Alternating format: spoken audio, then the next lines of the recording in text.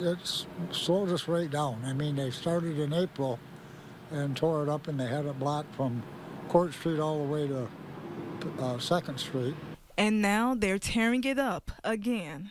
It makes it very hard for my customers to get in here. Most of them are elderly, and they uh, aren't going to walk like most young people can to get into the store. Daniel Spanola is the owner of Paul's Pipe Shop on Saginaw Street in downtown Flint. The company has been in business for 95 years. He wants to see the business make a century, but doesn't know if they'll survive another street closure.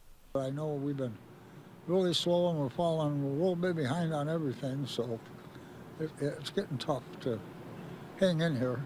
Work on Saginaw Street began in April to restore the historic bricks, make sidewalk improvements, and upgrade the water main beneath the road. But an issue with the material used to bed and lock the bricks now has Saginaw Street between Court Street and 4th Street closed again for reinstallation. It's frustrating. Uh, I, I just I don't know what to do. After the first phase, the construction team determined that the bricks needed to be pulled up and repalletized after they say they noticed the bricks were shifting. And for Spinall, this isn't the only mishap his business is battling. In the alley, uh, uh, a building has fell and it's actually taken up my parking lot, so I can't park back there. We have to walk a block to get to work.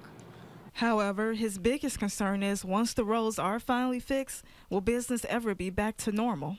Once people can't get here and they find other places to go, when it does open back up, sometimes you'll see them back, sometimes you won't.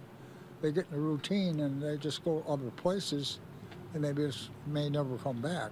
The project is expected to be completed by fall 2024. For WNEM TV5, I'm LaNita Brooks.